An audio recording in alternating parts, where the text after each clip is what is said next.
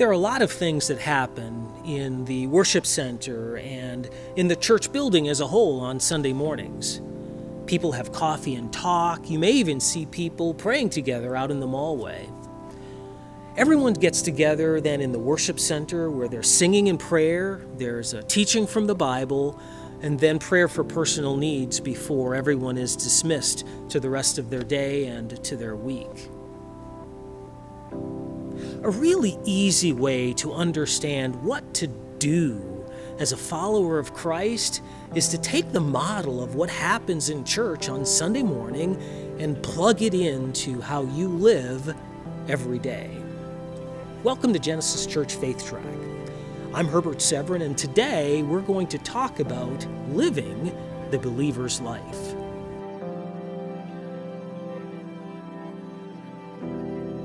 The work that God will do in your life comes from the communication between you and Him. Now, you're probably thinking there's no way that you could hear God talk to you. The truth is, you can and you will. Jesus says that his followers hear his voice and he knows them. Knowing you means that he knows what you need to hear when you need to hear it.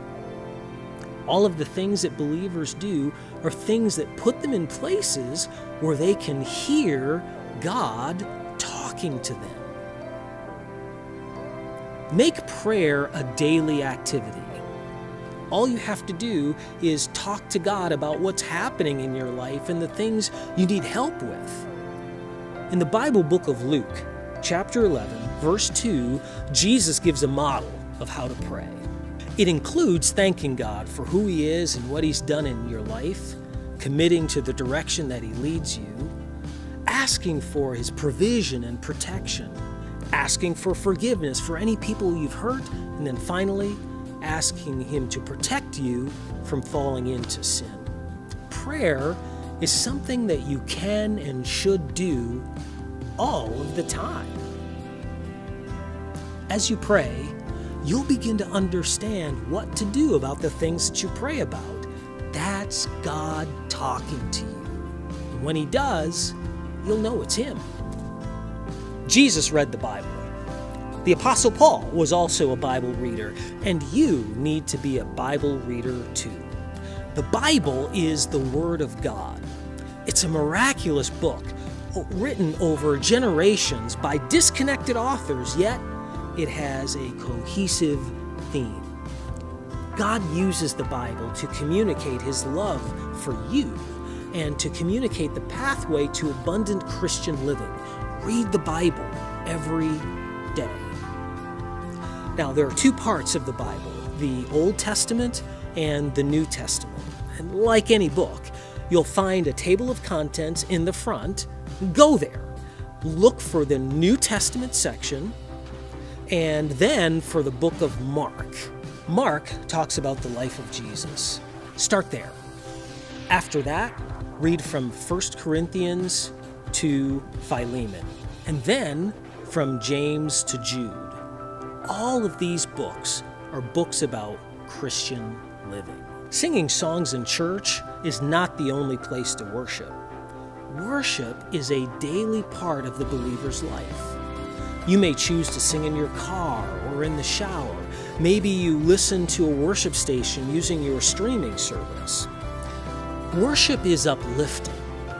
You are actually feeding your spirit with the presence of God when you worship. The Bible says that God takes a seat within your praise. So when you worship, you are placing yourself in the presence of God. You influence who you will become in your relationship with God by the people you are around. Spending time with other believers is done by being in church each week, becoming a part of a Discover group, by getting involved in ministries of the church. When you do these things, you become acquainted with people. Then you build a relationship of trust and start to talk about things that you may have a hard time getting through out of your life. Will they be willing to talk to you? Absolutely. They're being obedient to the Bible's instruction to help each other through the things that are hard for them to get out of their own life.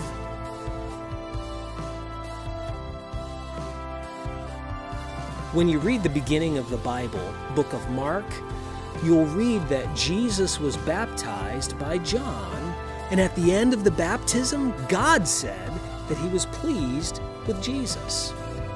As a follower of Christ, you are doing the things Jesus did. Jesus did that at the beginning of his ministry. This is a step for you to take at the beginning of following Christ. At the end of Jesus' work on earth, he gave a two part instruction to his followers. He told them to convince people to follow him and to baptize people. Now, it's important for you to understand that baptism is not required for salvation. Look at it this way the decision you made to be a Christ follower made you alive in Christ. No one can see what happened inside of you. Water baptism publicly demonstrates that change. The Bible describes that symbolism where it says, For you were buried with Christ when you were baptized, and with him you were raised to new life. That's why, when you're baptized, you're fully immersed in water, showing the death of the old and the birth of the new you in Jesus Christ.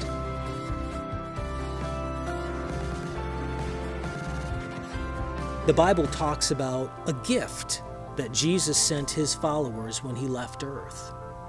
The gift of the Holy Spirit was the very presence and power of Jesus resident within his followers. John 14, 26 refers to the Holy Spirit as the counselor. And in Acts 1 8, he says the Holy Spirit brings power. This is a gift that is beyond your salvation and comes with a new level of spiritual understanding and spiritual ability. The coming of the Holy Spirit and the work that the Holy Spirit can do in the life of the people where He resides is described in the first and the second chapters of the book of Acts. Receiving the gift of the Holy Spirit is a part of your daily prayer and worship. As you pray and as you worship, ask the Lord to give you the gift of the Holy Spirit. Getting this gift is also called a baptism because the evidence that you have received the, that special gift is a special language that you didn't learn on your own. You once again have been changed. Living the life of the believer isn't hard or complicated. There will be things that you may have done for years that you just don't want to do anymore. There may be other things in your life that you know other believers don't do, but you just can't seem to let go. That is so very okay. God will help you change what needs to be changed in time. It happens just as you live the life of the believer every day. Thanks for watching Genesis Church Faith Track.